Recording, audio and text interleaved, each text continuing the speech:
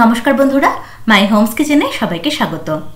আমার আজকের পর্বে রয়েছে খুবই অল্প তেল মশলায় তৈরি অসাধারণ স্বাদের একটা সবজির রেসিপি সামনে যেহেতু শীতকাল আসছে, আর শীতকালের সবজি কিন্তু এখনই বাজারে আসতে শুরু করেছে, আর সেই সবজি দিয়েই এই রেসিপিটা আমি তৈরি করে দেখাবো। এটা তৈরি করা খুবই সহজ আর খেতে জাস্ট অসাধারণ হয়, বিশেষ করে গরম গরম ভাতের সাথে, এটা থাকলে কিন্তু আর কিচ্ছু লাগে না। তো রান্নাটা করার জন্য এখানে আমি আড়াইশো গ্রাম পেঁয়াজ কুলি নিয়েছি। পেঁয়াজ কুলিটাকে দুই ইঞ্চি মাপ করে কেটে ভালো করে ধুয়ে জলটাকে ঝরিয়ে রাখা আছে। আর আমাদের লাগছে একটা ছোট সাইজের বেগুন। তো বেগুনটাকে আমি এরকমভাবে একটুখানি মাঝারি মাপ করে কেটে নিয়েছি। আর এখানে নিয়েছি একটা ছোট সাইজের ফুলকপি। ফুলকপি দেওয়াটা কিন্তু অপশনাল, দিলে ভালো লাগে, তবে না দিয়েও কিন্তু করা যায়। আর আমাদের লাগছে একটা বড় সাইজের আলু। আলুটাকে আমি একটুখানি মাঝারি মাপ করে কেটে নিয়েছি। আর এখানে দেখুন, একটা রুই মাছের মাথা ভালো করে পরিষ্কার করে তারপরে একটুখানি নুন আর হলুদ মাখিয়ে আমি একটু লালচে করে ভেজে নিয়েছি। এই মাছের মাথা ভাজাটা আমি আর দেখালাম না। আপনারা কিন্তু রান্নাটা মাছের মাথা ভাজা যে তেলটা থাকবে কড়াইতে সেটা দিয়েও করতে পারেন। তো এখানে রান্নাটা করার জন্য আমি কড়াইতে সর্ষের তেল দিয়েছি, দুই টেবিল চামচ। তেলটা গরম হয়ে যাওয়ার পরে এর মধ্যে ফোড়ন দিলাম হাফ স্পুন কালো জিরে, হাফ স্পুন করে দিয়ে দিলাম খুব মিহি করে কুচোনো আদা আর রসুন। আর দিয়ে দিচ্ছি দুটো শুকনো লঙ্কা। আর এর সাথে দিয়ে দিচ্ছি দুটো চিড়ে রাখা কাঁচা লঙ্কা। এবার গ্যাসের ফ্লেমটাকে একদম কমিয়ে রেখে ফোড়নটাকে মোটামুটি পনেরো থেকে কুড়ি সেকেন্ড একটুখানি ভেজে নিয়েছি। ফোড়নটা চলে এসেছে, খুব সুন্দর একটা সুগন্ধ বেরিয়েছে।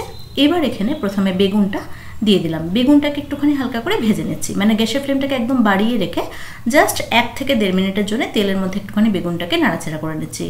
গ্যাসের ফ্লেমটাকে যদি কমিয়ে রাখা হয় না, তাহলে কিন্তু বেগুনটা সম্পূর্ণ তেলটা টেনে নেবে। তো অবশ্যই করে গ্যাসের ফ্লেমটাকে বাড়িয়ে রেখে তারপরে একটুখানি তেলের মধ্যে বেগুনটাকে সাঁতলে নিতে হবে।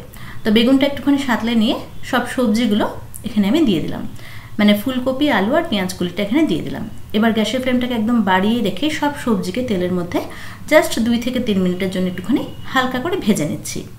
এসবে কিন্তু গ্যাসের ফ্লেমটা কমিয়ে রাখার কোনোই প্রয়োজন নেই। জাস্ট গ্যাসের ফ্লেমটাকে বাড়িয়ে রেখে এটাকে একটুখানি হালকা করে ভেজে নিতে হবে, যাতে করে সবজির কাঁচা গন্ধটা চলে যায়। একটুখানি ভেজে নিলে কিন্তু খেতে ভালো লাগে। আমি এখানে আলাদা আলাদা করে সব সবজি ভাজলাম না, একসাথে সব ভেজে নিলাম। এবার এখানে দিয়ে দিলাম বড় সাইজের একটা টমেটো কুচি, সাথে দিয়ে দিলাম হাফ স্পুন মতো নুন।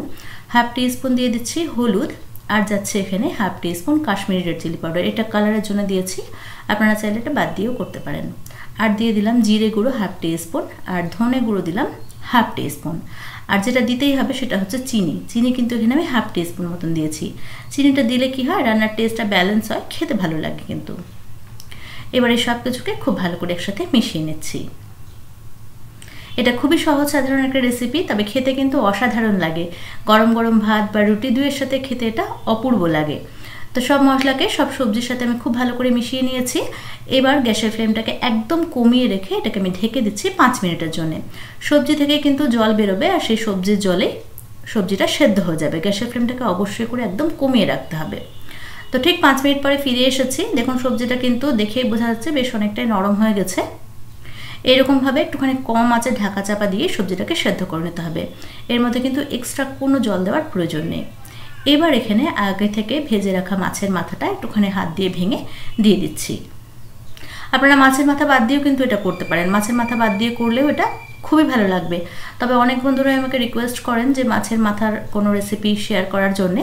তো এটা আমি মাছের মাথা দিয়ে সেজন্য করে দেখালাম। তবে মাছের মাথা দিয়ে করলেও কিন্তু এটা খুবই ভালো লাগে খেতে।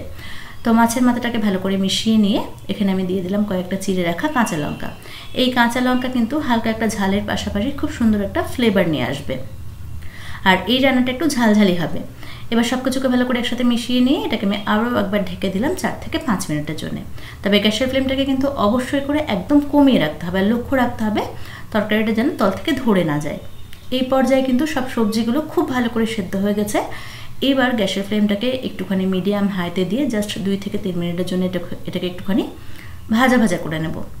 একটুখানি ভেজে নিলে কিন্তু এটা একদম রেডি হয়ে যাবে। একদম গায়ে মাখো, শুকনো শুকনো একটা তরকারি হবে। এটা কিন্তু গরম গরম ভাতের সাথে খেতে জাস্ট অসাধারণ লাগে। আপনারা চাইলে নামানোর আগে একটুখানি ধনে পাতা কুচি দিয়েও নামাতে পারেন। তবে আজকে আমি আর ধনে পাতাটা দিলাম না। ব্যাস, তৈরি করে নিলাম দুর্দান্ত স্বাদের আর একদম সহজ একটা সবজির রেসিপি এইরকমভাবে আপনারা এই সবজিটা তৈরি করে খেয়ে দেখুন আর কেমন লাগল সেটা আমাকে কমেন্টস করে জানাবেন। আর ভিডিও ভালো লাগলে কিন্তু অবশ্যই এটা লাইক করবেন আর চ্যানেলটাকে সাবস্ক্রাইব করবেন।